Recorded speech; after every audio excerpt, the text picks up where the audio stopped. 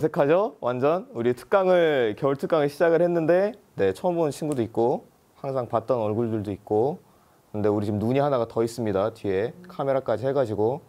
어 눈이 굉장히 많은데 부담스러운데 평소대로 한번 해보도록 하겠습니다 한번. 자 해보겠습니다. 자 특강 시작을 했는데 자 여러분도 오늘 특강 뭔지 다 알고서 왔죠? 뭐죠?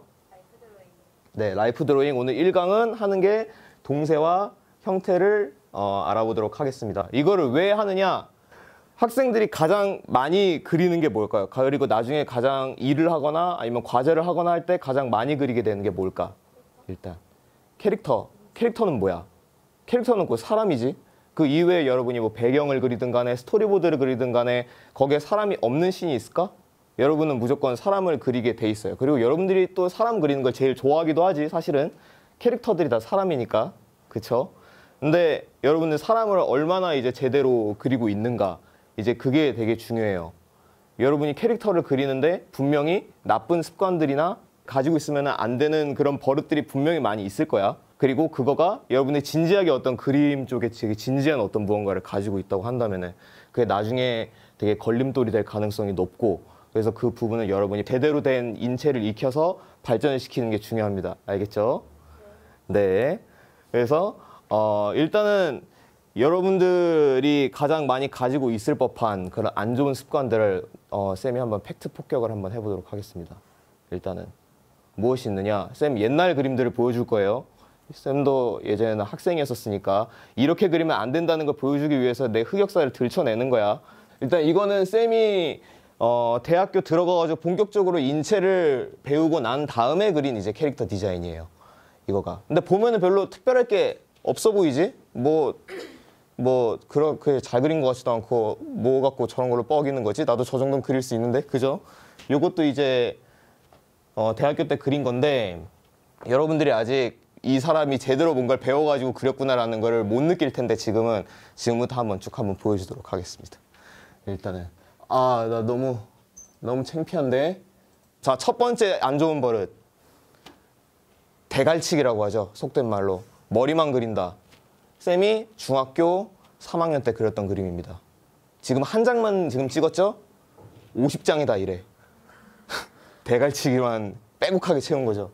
그 보면은 다 어때요 지금 또 보고 있는 방향이 다 똑같아요 지금 다 또 오른쪽에 쌤 왼손잡이여가지고 다 오른쪽을 보고 있어요. 첫 번째 안 좋은 버릇 머리만 그린다. 머리만 그리고 그것도 같은 방향으로 같은 각도만 그린다. 안 좋은 버릇입니다. 고쳐야 되는 거예요. 다음 아, 두 번째 SD만 그린다. SD가 뭔 말인지 알죠? 2등신, 3등신 캐릭터. 근데 그리는 거 괜찮아. 귀엽잖아. 얼마나 귀여워. 중학교 3학년 쌤이 이거를 앉아가지고 그리는 모습을 상상해봐요. 귀엽지 않습니까? 하지만 장래를 생각해 보면은 당장 가가지고 뒤통수를 갈리고 싶은 그런 그림이다. 이게 또 50장이 뒤에 더 있어요. 이게 물론 머리만 머리 도 그려도 되는 거고 SD도 그려도 되는 거야. 근데 그건 만 그린다는 게 안 좋다는 거지. 자, 세 번째 공중에 떠 있는 포즈를 그린다. 아마 이런 분들이 많을 거야. 근데 아까보다 잘 그렸어 보면은 머리에서 벗어난 거야. 머리에서 벗어났어. 근데 보면은 머리만 그리고 한쪽만 그리고 SD만 그렸기 때문에 지금 인체 같은 게 이런 게 약간 캐릭터긴 하지만은 단순화되어 있지 뭔가 어긋나 있고 좀 삐꾸돼 있는 게 보이죠. 목이랑 몸통이랑 연결이 좀 부자연스럽다거나 그리고 무엇보다도 바닥에 캐릭터들이 발을 붙이고 있는 애들이 어떻게 한 명도 없어. 지금 보면은 이런 게 또 되게 안 좋은 버릇이에요. 왜냐면 사람 우리가 지금 지구에 이렇게 종속돼 있는 이상 이 중력 이거는 계속 이렇게 우리가 할 수 있는 어쩔 수 없는 그런 힘이잖아. 계속 받을 수밖에 없는. 근데 이 어떤 중력에서 벗어나고 싶은 그런 마음이랄까? 어떤 그런 어린 마음이 이런 그림을 만들었다고 해야 되나? 뭔가 공중에다 떠 있죠. 근데 이게 되게 안 좋은 버릇이에요. 몸의 중심 같은 게 다 연습이 안 되기 때문에. 자, 다음 네 번째. 그러면 바닥에 붙으면 어떻게 되느냐? 바닥에 캐릭터들이 내려앉으면은 네 번째. 오, 아까보다 잘 그렸지? 근데 발을 봐. 평평하게 그린다. 그림을 평면적으로 그린다. 네 번째 안 좋은 버릇입니다. 어, 근데 지금 보면은 여긴 학생들이 찔리는 학생들이 굉장히 많을 겁니다. 아마 굉장히 많을 거예요. 쌤도 다 압니다. 왜냐하면 다 겪어봤기 때문에 놀랍지 놀 그리고 놀라운 이야기 하나. 이게 대학교 때 그림입니다. 대학교 처음 들어가기 직전 그림. 그러니까 이때까지도 정신을 못 차린 거야. 이때까지도. 네 그림 뭐 혼자 배워가지고 이 정도 글쓰면 많이 배운 거긴 한데 그래도 이렇게 알려주는 사람이 있었더라면 그림이 훨씬 발전했을 텐데. 그리고 본격적으로 그림을 제대로 좀 배우면서 이렇게 아까 말했던 이제 동세와 형태 이런 거를 이제 라이프 드로잉을 본격적으로 인체를 좀 배우기 시작했어요. 그래서 그림을 입체적으로 보는 눈을 좀 키우고 어떻게 이걸 캐릭터에다 적용을 하면서 그러면서 공부를 계속 했더니 놀라운 효과가 발생했습니다. 발이 입체가 되었습니다. 아, 아직까지 좀 평평해. 근데 아직까지도 좀 평평해. 근데 지금 보면 이렇게 직사각형 이렇게 막 바닥에 이렇게 해가지고 지금 투시 이거 하고 막 보이죠. 놀라운 발전입니다. 자, 그렇고 이게 된 이후에 이 그림을 다시 보면은 얼마나 다시 보니 선녀 같은지 보이죠? 이렇게 만들어진 것입니다. 맨 처음에 이제 굉장히 평평하고 한쪽 구도만 그릴 수밖에 없었는데 이제 인체를 제대로 된 걸 공부를 하고 나니까 이제 그 이후에 좀 더 입체적이고 좀 더 부드럽고 좀 더 자연스러운 이제 캐릭터 포즈 그리고 바닥에 지금 또 발을 딱 붙이고 있어요. 밑에 머리만 그린 것도 그냥 머리만 그린 게 아니라 어떤 립싱크 연습을 지금 또 한 게 있고 굉장히 장하죠. 기특하죠. 아주 어 기특한 주안이에요. 아주 네 그렇습니다. 자 그러면은 어 이제 이거 이후에 어떻게 하면은 이런 식으로 인체를 좀 제대로 그리는 연습을 좀 할 수 있느냐 어, 두 가지만 여러분이 알면 됩니다. 일단은 동세, 그 다음에 형태. 사람 몸을 그릴 때 여러분들이 겉에 굴곡 같은 거를 되게 많이 봐요. 사람 몸이 있으면 이게 미세한 이런 힘줄과 이런 굴곡들이 있잖아요. 근데 이거를 맨 처음에 빈 공간에서 이것부터 그리는 거 굉장히 어렵고 어려울 뿐더러 정확한 어떤 비례나 그런 형태가 나오기가 되게 힘들어요. 그림이 평평하게 보이게 되거든요. 외곽선만 보이기 때문에. 그러면은 어떻게 하면 되느냐? 자. 자, 쌤이 시작하기 전에 포즈를 하나 미리 그려놨어요. 무슨 포즈냐면은 되게 러프하게 그려져 있지만은 이거를 그릴 때 거의 한 세네 가지의 이제 복잡한 거를 머릿속에 이제 콤비네이션을 섞어가지고 이제 그리면서 나온 게 이제 요 그림입니다. 자, 어떻게 그리면 이 포즈를 쉽게 좀 그릴 수가 있느냐, 그거를 알려줄게요. 이제 여러분 아실지는 지금 여기 어린 친구들이 와서 알지는 모르겠지만은 우리 대한민국의 위대한 작가님 중에 이제 한 분이죠. 김성무 화백님이 굉장한 명언을 남겼습니다. 싸움은 뭐다? 리듬과 파워와 집중력이다. 그림도 마찬가지입니다. 리듬과 파워와 집중력. 집, 일단 먼저 집중력. 무엇을 캐치를 해야 되느냐. 맨 처음에 아까 이 포즈 있죠? 이 포즈에서 여러분이 맨 처음에 봐야 되는 거는 일단은 세 가지예요. 기본적으로. 첫 번째, 비례. 두 번째가 동세고, 세 번째가 무게중심이에요. 자, 그러면 이거를 뭘로 하느냐? 아까 말했던 외곽 따는 그 외곽선으로는 그거를 잡기가 어려워요. 맨 처음에 할 때 어떻게 하면 좀 쉽냐? 제스처 라인, 동세 선을 잡으면서 선으로 그리면 되는 거예요. 여러분 쫄라맨 이제 그린다고 생각하면서 그리면 편한데 요즘 또 쫄라맨을 모르더라고. 요즘은 학생들이 지금 보면은 요전에 쫄라맨 얘기를 했더니 다들 그 뭐지 그 단어만 알지 그거를 모르더라고. 실제로 그 플래시 애니메이션 아이씨 그 여기까지 하겠습니다. 자 동세를 어떻게 잡느냐? 아까 포즈에서 맨 처음에 어, 집중력 그 세 개를 이제 다 지금 딱 본 거예요. 포즈에서 한번 그려보겠습니다. 여기에서 허리가 꺾이고 그 다음에 다리가 내려오고 그 뒤로 다리가 이렇게 뻗고 팔이 이렇게 오고 내려오고 이 동세를 잡았어요. 맨 처음에 이런 꺾이는 느낌, 요렇게 내려오는 느낌, 뒤로 뻗는 느낌, 뻗는 느낌, 구부러지는 느낌 이런 식으로 동세를 잡았죠. 두 번째 비율, 몸통이 여기까지 온다. 그리고 다리가 구부러지는데 무릎이 어디까지 온다. 그 다음에 이쪽 발이 어디까지 온다. 이 비율을 캐치를 하면서 이거를 빠르게 그려내는 거예요. 이걸 빠르게 그리는 게 중요해요. 빠르게 캐치해가지고 그리는 게. 알겠죠? 네. 그러면은 여기에서 어, 또 하나가 더 있죠. 여기 무게중심. 무게중심은 어떻게 잡느냐? 발 두 개를 일단 딱 정확하게 여러분이 동세 잡을 때 맨 처음부터 딱 잡고 들어가는 게 너무 중요해요. 발이 사실상 몸 전체를 이렇게 지지하는 거잖아. 그러니까 여기에서 발 하나가 위치가 삐끗하면 이게 그대로 넘어가 버리는 거야. 이게 이제 여기 발 사이를 딱 끄어주고 중심에 선을 싹 올려주면은 이걸로 무게중심을 여러분 잡을 수 있어요. 여기서 싹 올렸을 때 50, 50 잘 맞는가 몸통에 가져가는 비율이. 그걸로 여러분이 무게중심을 판단할 수 있고 이걸 맨 처음에 알고 들어가는 게 굉장히 중요합니다. 그래서 여러분이 집중력, 아까 말했던 마지막에 말했던 집중력을 여러분이 여기에서 써야 돼요. 파워는 어디서 쓰느냐? 이거를 아까 말했듯이 이렇게 뜯으면서 이렇게 그리면 안 돼. 이게 또 파워가 있게 그려야지 그게 또 나와요. 이렇게 이렇게 이렇게 이렇게 쫙쫙 이렇게 막 세면서 그리지 말고 알겠죠? 그런 파워, 집중력과 파워가 중요합니다. 그럼 리듬은 뭐냐? 형태를 잡으면서 한번 들어가 볼게요. 자, 한번 동세를 다시 잡아보겠습니다. 맨 처음에 위치 잡고 머리 있는 위치가 여기겠죠? 몸통이 여기 있고 다리가 앞쪽으로 내려오고 뒤로 다리가 뻗고 팔이 이렇게 내려옵니다. 빠르게 그랬죠? 집중력과 파로, 파워로 이제 밀고 간 그림이에요. 여기서 형태로 이제 들어가야 되는데 형태를 넣을 때도 그 신체 부위 신체 부위마다의 형태와 비율을 여러분이 잘 이해를 하고 있어야 됩니다. 자 위에 머리부터 한번 쭉 내려와 볼게요. 일단 두개골은 여러분이 동그라미로 많이 그릴 거예요. 에, 안 됩니다. 추파춥스도 아니고 안 됩니다. 사람 두개골이 어떻게 생겼냐면은 정면에서 봤을 때에는 이렇게 동그라미에 턱뼈가 이렇게 붙은 모양으로 되어 있어요. 이런 식으로. 그러니까 두개골이 있으면은 이 둥근 부분이 있고 턱뼈가 와가지고 이렇게 붙은 거지. 옆에서 본 모습은 이렇게 타원형에다가 이렇게 턱뼈가 붙은 모양입니다. 이거를 합 이거 이 사이에 이제 측사면이면은 이제 이거보다 살짝 살짝 찌그러진 원에다가 이렇게 맞춰가지고 이런 식으로 모양이 나오겠죠. 그러니까 이런 식으로 여러분들이 좀 그려주는 게 좋아요. 머리는 형태를 이렇게 한번 잡아보겠습니다.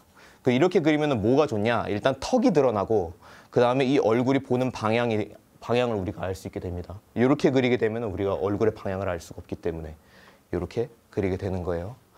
그 다음에 뭐가 중요하냐? 여기에서부터 그 다음으로 가장 중요한 부분이 갈비뼈 부분이에요. 갈비뼈까지의 비율로 몸 전체의 비율을 이제 판단을 하거든요. 그래서 여기가 너무 중요해. 갈비뼈가 너무 중요합니다. 중요해서 두 번 말했습니다. 자, 한번 그려볼게요. 갈비뼈는 일단 형태가 어떻게 생겼냐? 계란 모양인데 이거를 이렇게 약간 스큐 시켜가지고 이렇게 기울어져 있다고 생각하면 돼요. 계란을 이렇게 그리는데 그 비율은 어느 정도냐? 머리 크기의 1.5배. 정확하진 않아요. 사람마다 달라요. 갈비뼈가 짧은 사람이 있고 긴 사람이 있고. 근데 어쨌든 평균적으로 이렇다는 거야. 갈비뼈를 잡아줍니다. 갈비뼈는 이렇게 생겼어요. 계란 모양을 하고 앞부분이 사과 모양의 이렇게 잘려져 있습니다. 그런 식으로. 그 다음에 어디를 잡아야지 되느냐. 사람 몸을 전체를 이제 지탱하는 그 뭐지 그 제일 기둥이 되는 부분이 어디야? 척추죠. 척추 없으면 그냥 녹겠지. 쌤도 요즘에 좀 녹고 있는데 척추가 안 좋아서 자 척추 척추는 꼭 뭐냐면은 몸 이 바깥쪽 외곽 라인이기도 해요. 몸 전체 바깥쪽에 커다란 외곽 라인 여기를 잡아줍니다. 잡아줬죠. 척추는 이게 이 갈비뼈 있는 부분은 이렇게 튀어나오고 목이랑 허리 부분은 쏙 들어가가지고 이런 식으로 활 모양으로 생겼어요. 그거를 여러분이 이걸 해줘야 돼요. 그래서 이렇게 넣어주고 이 튀어나온 부분 아까 여기 있죠. 여기가 튀어나오고 여기가 튀어나온다 그랬지. 여기가 골반 부분입니다. 골반은 어디에 있느냐? 갈비뼈랑 주먹 하나 거리.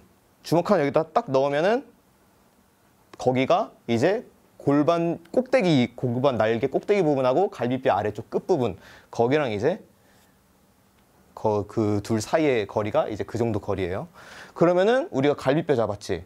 그 다음에 몸통 지금 뒤에 척추 라인 잡았죠? 골반 위치 잡았죠? 여기를 이렇게 연결해 주기만 하면은 몸통 형태가 완성이 됩니다. 그리고 여기에서 살짝 살짝 변주가 들어갈 뿐 이 형태를 거의 유지해요. 거의 이렇게 윗부분이 둥글고 아랫부분이 둥글고 가운데가 들어간 이런 모양을 거의 유지하게 됩니다. 몸을 약간 틀면서 그게 살짝 살짝 바뀌기는 하겠죠. 이제 다리랑 팔로 넘어가면 되는데 다리랑 팔은 이게 미세한 이런 그 외곽의 굴곡이 있지만은 가장 큰 어떤 형태가 있어요. 가장 큰 형태. 일단 위치부터 잡아보자. 보통 이렇게 학생들이 많이 실수하는 게 몸통을 이렇게 그려놓은 다음에 몸통 밑에다가 다리를 그리기도 하고 아니면은 이 골반 이 꼭대기 여기 부분에서 다리가 나오기도 하고 그래요. 근데 아까 우리가 골반 위치를 잡은 이유는 다리 위치도 잡으려고 하는 것도 있거든. 다리 위치가 어디냐? 골반보다 살짝 아래. 이 위치에서 이 둥근 부분에서 통째로 이렇게 나옵니다. 그리고 형태가 어떤 형태로 나오냐? 원기둥인데 끝부분이 크고 아래쪽이 홀쭉하고 요렇게 살짝 휘어져 있는 이런 모양으로 나와요. 그 종아리 근육은 여기서 볼록 나와서 이렇게 내려오는 모양입니다. 뼈가 앞쪽에 있, 뼈가 앞쪽에 있고 종아리는 앞쪽에는 근육이 안 붙어 있어요. 뒤에 붙어 있어요. 그렇기 때문에 뒤쪽에 있고 근육이 그 다음에 여기서부터 힘줄로 변해서 홀쭉하게 변하기 때문에 이 모양을 처음 형태 잡을 때부터 해주는 게 너무 중요합니다. 닭다리 모양이라고 생각하면 돼요. 그 다음에 발 부분 아까 동세 잡을 때도 발이 너무 중요하다 그랬죠. 형태 잡을 때도 마찬가지 발까지 무조건 여러분이 끝까지 그려줘야 돼요. 발 없으면은 옛날에 그 귀신 있지 않았나? 발 없는 귀신? 발 없는데 날아다니는 귀신 학교마다 한 명씩 있죠. 그렇게 만들기 싫으면은 발을 무조건 만들어 줘야 됩니다. 발 모양은 이렇게 사다리꼴 모양이고요. 형태가 그다음 이게 측면에서 봤을 때고 정면에서 봤을 때도 정면 혹은 측사에서 봤을 때도 이런 형태를 거의 유지합니다. 정면에서 봤을 때는 이렇게 오리발 모양. 뒤쪽도 마저 잡아줄게요. 자, 이 팔도 마찬가지예요. 이 다리랑 이 위쪽 여기랑 여기가 똑같이 적용이 됩니다. 해주고 손 같은 경우는 손 등 부분과 이 손가락 부분을 다르게 해가지고 잡아주면 좋아요. 이런 식으로 해주면은 어떤 자세한 굴곡 같은 거는 다 사라졌더라도 여러분이 어떤 동세가 느껴지고 그리고 포즈의 형태를 우리가 알 수 있죠. 이런 식으로 그리면은 굉장히 쉽고 여러분이 구조적으로 이 인체를 이해하는 어, 어떤 과정이 또 될 수 있고. 자 마지막으로 리듬. 뭐냐면은 여기에서 형태를 지금 다 잡았죠? 여기에서 사람 몸에 무슨 리듬이 있느냐? 사람 몸을 보면은 항상 이렇게 지그재그가 있어요. 들어갔다 나왔다 들어갔다 나왔다 하는 부분. 그거를 여러분이 형태를 잡으면서 잡아야 몸 전체에 리듬감이 생기고 그걸로 이 역동감 그 다음에 어떤 입체적인 느낌을 여러분이 살리는 거 무슨 말인지 한번 보여줄게요. 사람 몸에 지그재그가 있다는 거는 자 이런 식입니다. 두개골 때문에 나왔죠? 목 때문에 들어가죠. 그 다음에 갈비 때문에 나왔다가 허리 때문에 들어갔다가 골반 때문에 엉덩이 때문에 나왔다 아, 나왔다가 허벅에서 들어갔다가 종아리에서 나왔다가 들어갔다가 나왔다 들어갔다 나왔다 들어갔다가. 이 지그재그 이렇게 내려오는 느낌 구불구불하면서 내려오는 느낌 요게 이제 리듬을 만들고 아까 말했던 입체감과 역동감을 만들어 주는 겁니다. 이거를 그러면은 쌤이 예시를 몇 개 가지고 왔으니까 예시를 한번 보면서 이걸 한번 적용해 보도록 할게요. 자, 예시를 좀 구해 왔습니다. 어떤 예시냐? 지금 너무 이 지금 상황을 좀 던지고 싶은 마음에 가지고 왔고 아 사실은 요즘 유행이어가지고 그냥 한번 가져와 봤습니다. 한번 그리고 우리 영상에 좀 도움이 되고자 자 한번 해보겠습니다. 여기서는 정면 그거를 가지고 왔어요. 던져 할 때 던져 첫 번째 던져 부분이에요. 여기가 그려 보면은 일단 맨 처음에 동세랑 맨 처음에 이제 여러분이 동세랑 그런 걸 잡아야 된다 그랬죠. 이렇게 이렇게 그리고 무게중심 딱 잡아야 되고 비율도 딱 잡고 어깨가 여기 있고 이렇게 이렇게 나옵니다. 지금 자 여기에서 형태에 들어갑니다. 머리부터 머리 지금 정면이죠. 정면이고 이렇게 들어가고 그 다음에 갈비뼈가 계란 모양 이렇게 외곽 라인 잡고 골반 잡고 그 다음에 여기에서 다리가 한쪽이 이렇게 반대쪽이 이렇게 내려오게 되죠. 그 다음에 이런 식으로 이런 식으로 형태를 잡으면은 여기에서 이제 나중에 여러분이 이 위에다가 이런 식으로 옷을 입히고 하다 보면은 아 이게 굉장히 맨 처음에 그림을 그리기 맨 처음 시작할 때 굉장히 중요한 부분이구나 라는 거를 여러분이 아실 수 있게 될 겁니다. 자 다음 측면도 한번 해볼게요. 측면 파트 던져 부분이죠. 이제 여기에서 위치 잡아주고 척쳐 이렇게 내려오죠. 그 다음에 여기에서 다리가 뒤로 쭉 내려옵니다. 그 다음에 발이 또 앞쪽으로 내려오고 여기에서 팔이 앞으로 쭉, 그 다음에 뒤로 이렇게 가게 돼요. 비율이 이렇게 나오죠. 그 다음에 머리부터 이번에 시작을 해볼게요. 옆면이기 때문에 아까 말했던 그 뭐지 옆에서 본 측면 두개골 모습으로 그려줘야 되죠. 그리고 여기에서 갈비뼈, 척추 라인, 골반 라인, 몸통 연결해주고 다리, 종아리 뒤에 있는 애도 다리, 종아리 나오게 됩니다. 이런 식으로 내려오는 이 느낌이 중요한 거예요. 이렇게 뻗어가지고 내려오는 느낌. 그 다음에 이렇게 이렇게 팔이 앞으로 나가고 여기에서 또 여러분이 옷을 입혀보면은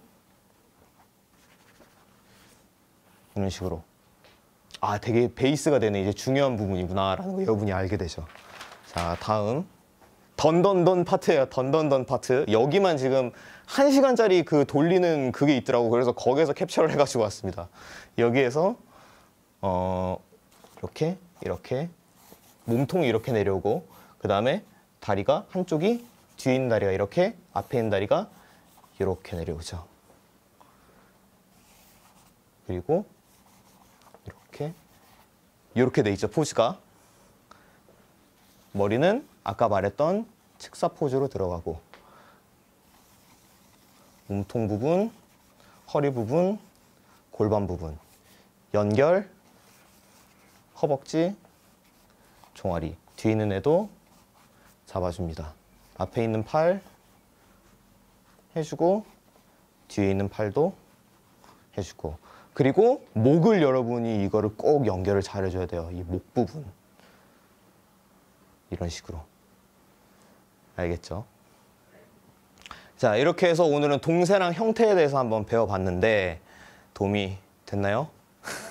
네 여러분은 아까 제가 보여줬던 그런 끔찍한 역사에서 빨리 벗어나기를 바라면서 이거를 항상 여러분이 어, 인터넷 사이트에 되게 좋은 그런 reference 사이트가 굉장히 많아요. 인체를 보, 인체 그거를 보여주는 영상 사이트 혹은 사진 사이트가 그걸 여러분이 찾아가면 찾아가지고 연습을 해보시고 아니면은 그냥 이런 식으로 그냥 영상이나 어, 무언가를 따와서 그려봐 이런 식으로 한번 그려보면서 연습을 해봐도 되고 아니면 여러분 일상에 보이는 그냥 여러분 주변 사람들이나 아니면 길거리에서 보이는 사람들을 직접 크롭 해보면서 이런 연습을 해봐도 되고 중요한 거는 이 연습을 항상 여러분이 해주는 게 중요하다고 합니다. 감사합니다.